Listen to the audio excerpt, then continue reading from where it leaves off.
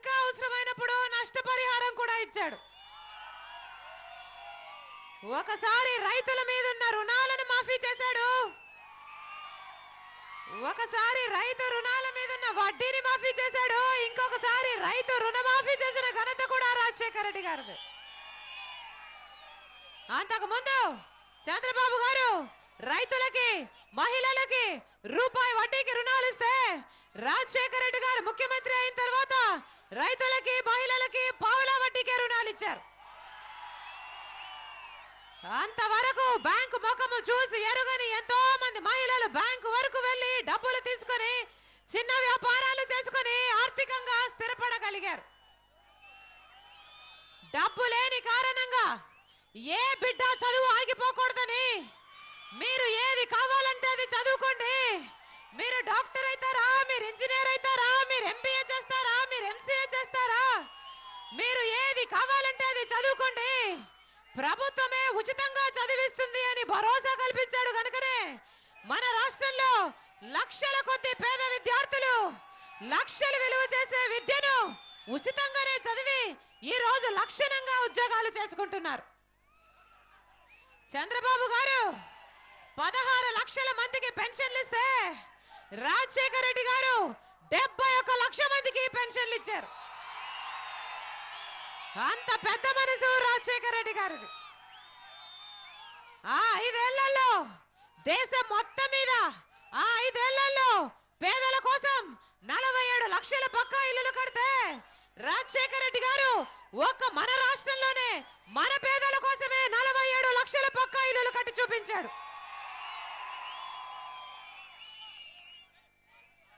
ఒక పేదవాడికో! అమ్మా దిగు నాయన దిగు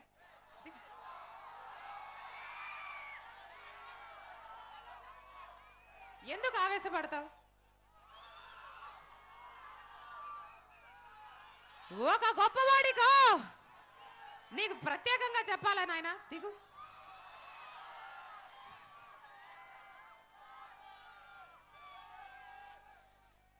ఒక గొప్పవాడికో ఒక రాజకీయ నాయకుడికో ఏదైనా జబ్బు చేస్తే ఎప్పుడు ప్రభుత్వ ఆసుపత్రికి వెళ్ళరు కానీ ఒక పేదవాడికి మటుకు పెద్ద జబ్బు వచ్చినా ఎందుకు ప్రభుత్వ ఆసుపత్రికి వెళ్ళాలి అని ఇది మార్చాలి అని రాజశేఖర రెడ్డి గారు ఆరోగ్యశ్రీని ప్రవేశపెడితే మన రాష్ట్రంలో లక్షల కొద్ది పేద ప్రజలు మంచి ఆసుపత్రికి వెళ్ళి తలెత్తుకొని ఉచితంగానే వైద్యం చేయించుకోగలిగారు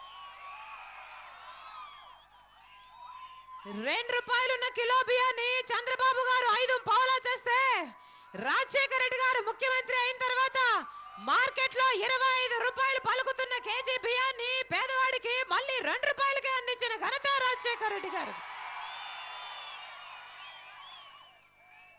కుయ్ కుయ్ కుయ్ కుయ్ అని ఫోన్ చేసిన ఇరవై నిమిషాలకు వచ్చేసేది one nought eight one nought four అయితేనేమి అభయ హస్తం అయితేనేమి ఉపాధి హామీ అయితేనేమి ఏ పథకాన్ని తీసుకుంటే ఆ పథకాన్ని అద్భుతంగా చేసి చూపించిన నాయకుడు రాజశేఖర్ రెడ్డి గారు. అన్ని సంక్షేమ కార్యక్రమాలు చేస్తూ కూడా అన్ని అభివృద్ధి కార్యక్రమాలు చేస్తూ కూడా రాజశేఖర్ రెడ్డి గారు ముఖ్యమంత్రిగా ఐదు సంవత్సరాలుంటే ఐదు సంవత్సరాలలో ఏ ఛార్జీ పెరగలేదు ఏ పన్ను పెంచలేదు రాజశేఖర రెడ్డి గారు.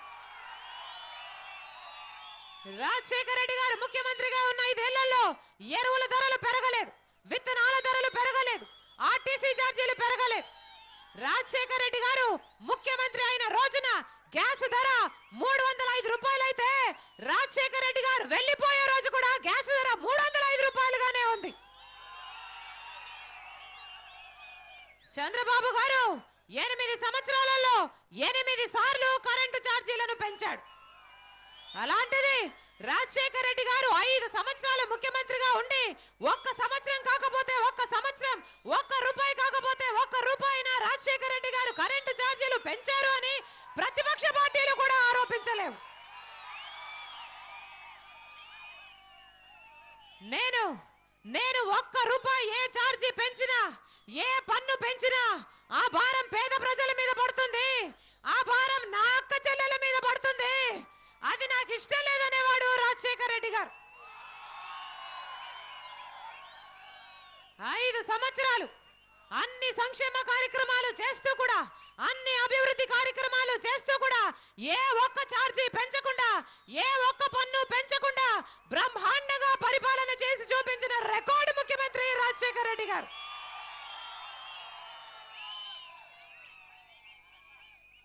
రాజశేఖర రెడ్డి గారు వెళ్ళిపోవడము మన రాష్ట్రం చేసుకున్న దురదృష్టం. ఆ తర్వాత సీల్డ్ కవర్లో ఊడిపడ్డాడు కిరణ్ కుమార్ రెడ్డి గారు.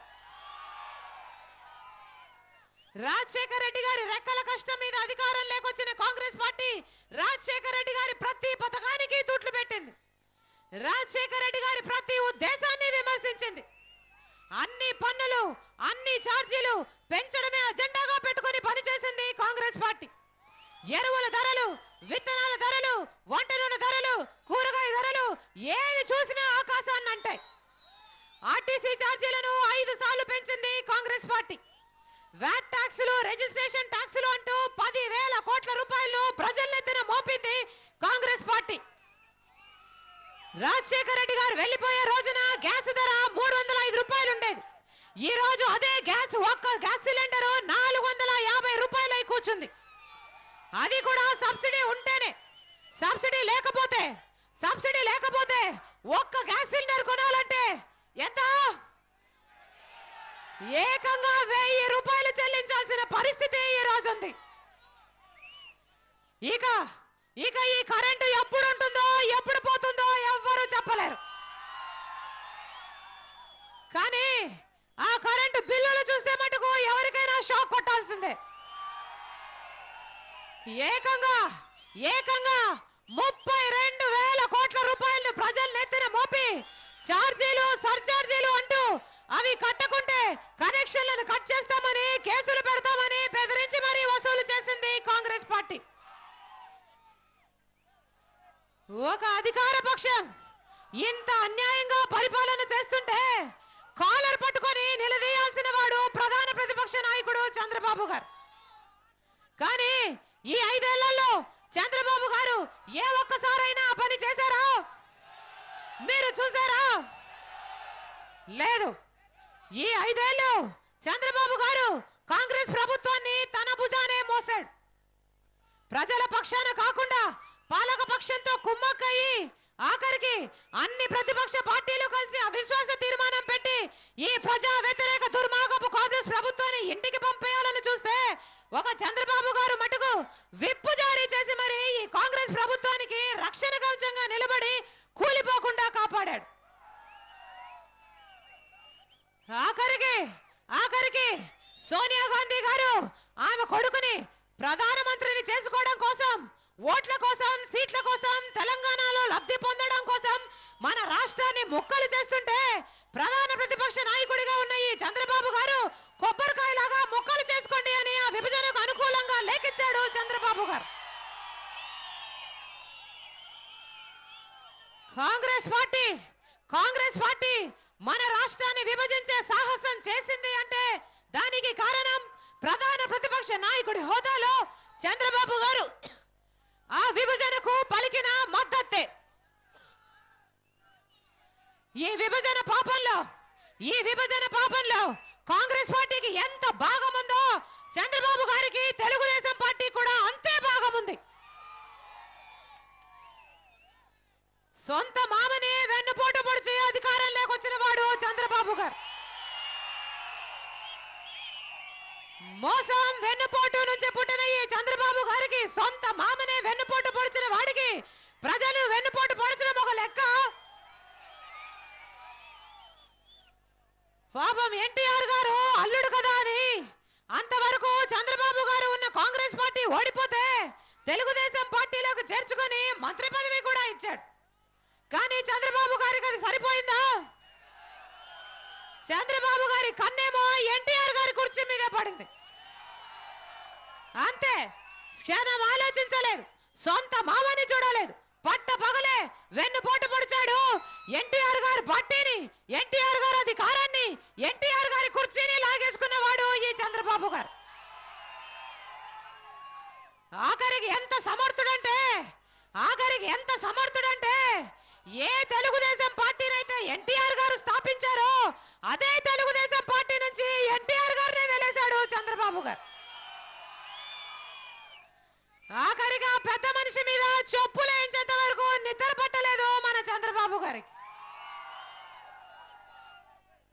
ఎన్టీఆర్ గారిని మనస్ఫూర్తిగా అభిమానించే ఏ ఒక్కరు ఆ పెద్ద మనిషి గొంతు కోసిన ఈ చంద్రబాబు గారిని జీవితంలో క్షమించకూడదు.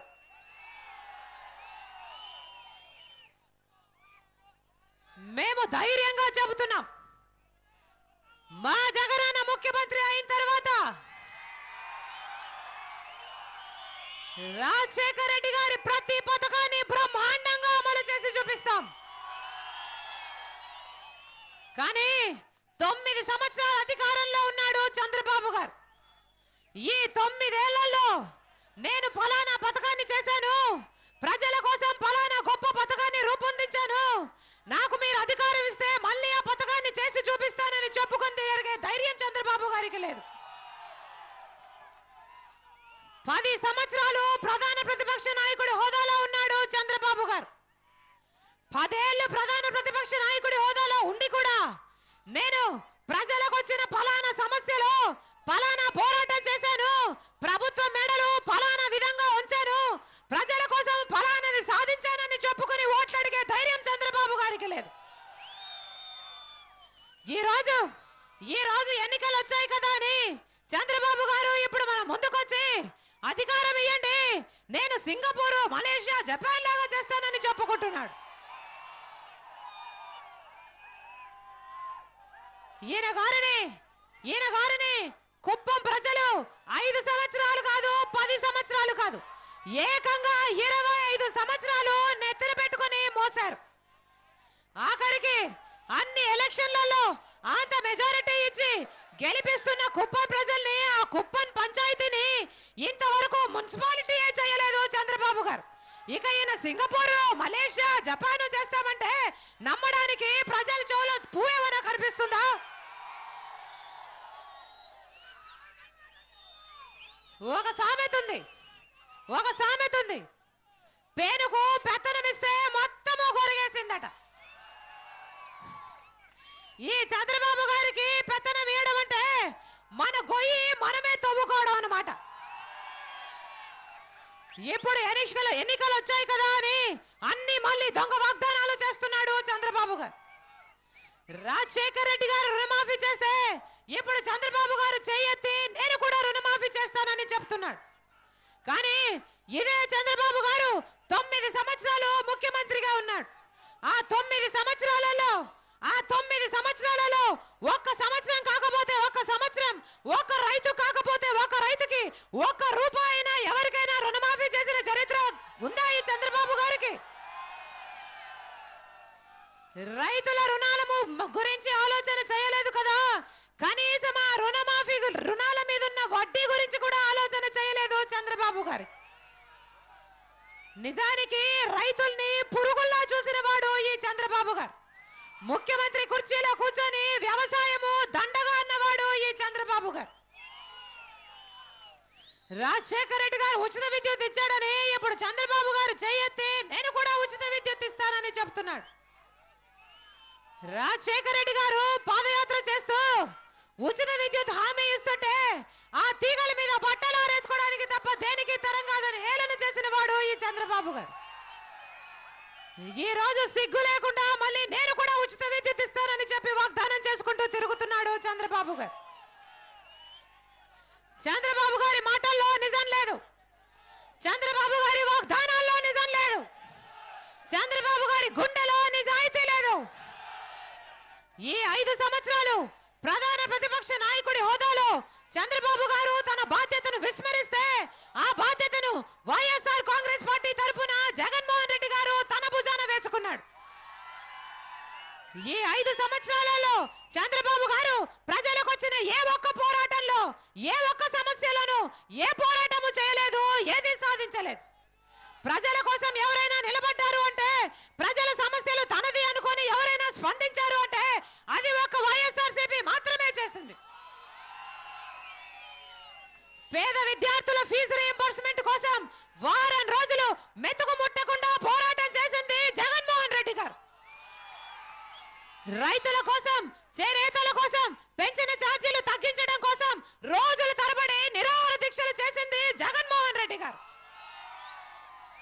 మా రాష్ట్రాన్ని చీల్చొద్దండి తెలుగు జాతిని ఒకటిగా ఉంచండి అని రోజుల తరబడి నిరాహార దీక్షలు చేసింది జగన్మోహన్ రెడ్డి గారు విజయమ్మ గారు వైఎస్ఆర్ కాంగ్రెస్ నాయకులు. ఈ రోజు ప్రజల ముందుకొచ్చి ఓటైతే ధైర్య ధైర్యం ఎవరికైనా ఉంది అంటే అది ఒక్క వైఎస్ఆర్సీపీకి మాత్రమే ఉంది. గత ఐదేళ్ళుగా ఎండనక వాననక రేయనక పగలనక ప్రజలకు వచ్చిన ప్రతి సమస్యలో తనకు అవకాశం ఉన్న ప్రతి రోజు ప్రజల మధ్య గడిపాడు జగన్మోహన్ రెడ్డి గారు. ఓదార్పు అన్న ఒక్క మాట నిలబెట్టుకోవడం కోసం పదవులు కాదనుకున్నాడు. విలువలు విశ్వసనీయతే ముఖ్యమనుకున్నాడు. ఆఖరికి చేయని నేరానికి జైలు కూడా వెళ్ళాడు జగనన్న. అయినా ఆయన జరగని ఆత్మవిశ్వాసంతో బోనులో ఉన్న సింహం సింహమే అని నిరూపించుకున్నాడు.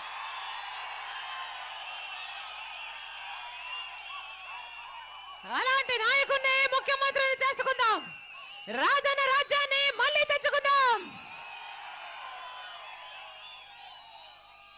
వైఎస్ఆర్ కాంగ్రెస్ పార్టీ స్థానిక ఎమ్మెల్యే అభ్యర్థి వెంకటరమణ అన్న గారు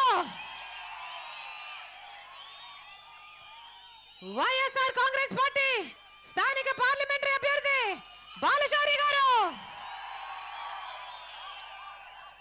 ఇరువురిని ఇరువురిని ఫ్యాన్ గుర్తు మీద మీ అమూల్యమైన ఓటు వేసి జగనన్న నాయకత్వాన్ని బలపరచవలసిందిగా మా ప్రార్థన